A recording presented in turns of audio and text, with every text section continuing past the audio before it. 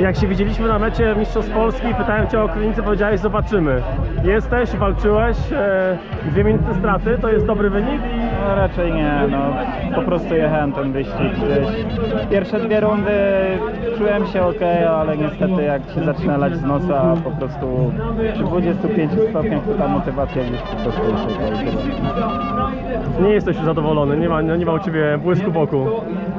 No wiesz, przyjeżdżasz na wyścig, chcesz jechać dobrze, ale niestety no czasem po prostu jedziesz. Powiedziałeś o Krynicy, zobaczymy, a teraz co dalej z sezonem? E, na pewno pojawię się w Valdisola, a potem zobaczymy. Trzymamy się tego, że zobaczymy. Miejmy nadzieję, że będzie miał wszystko dobrze, będziemy widzieć Cię uśmiechniętego jeszcze nie raz na mecie. No miejmy taką nadzieję. Dzięki.